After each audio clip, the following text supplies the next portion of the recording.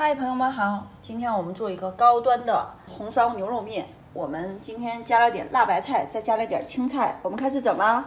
先起火，少浇一点点油就可以了。我们先把肥一点的这个牛肉炒一下，把油炒出来，这样更健康一点哦。这个牛肉是我自己拿那个切肉机切的，所以说这个比较薄一点。这个牛肥油已经炒出来一些了，我们现在加辣白菜，一边炒一边翻。这个锅选错了，我们应该选择不粘锅。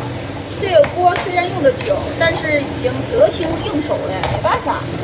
我们现在已经炒香了，这个满满个房间都是香香的辣白菜的味道，超级香。现在我们可以加水了，加水，哇哦！我们烧开的水放里边，就省时间了。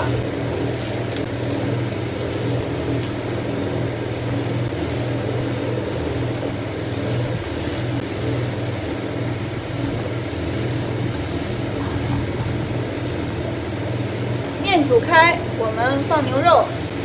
这个牛肉没有太化，所以说一定要均匀的放上啊。可以了，我们现在关火。看一下，朋友们是不是很有食欲呀？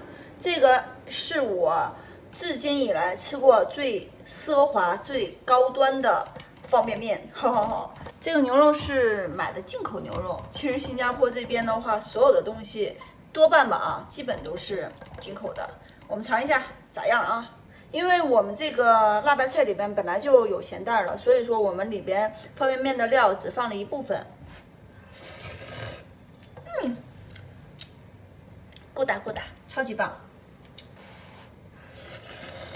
嗯嗯，好吃，真好吃啊！这个味道确实很香。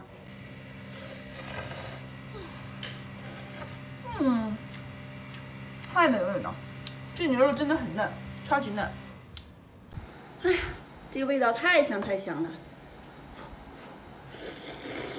嗯，真的好美味。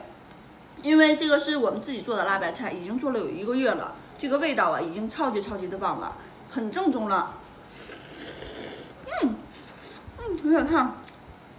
这个牛肉也确确实很不错，朋友们也可以在网上或者是在那个实体店里边买一些，让他给切好的，切的超薄的，放里面超级超级好吃。嗯，真的很不错。嗯。嗯嗯，超级完美，朋友们，这个视频就到这里了。有喜欢我的视频，请关注、评论、点赞哦。朋友们，拜拜拜。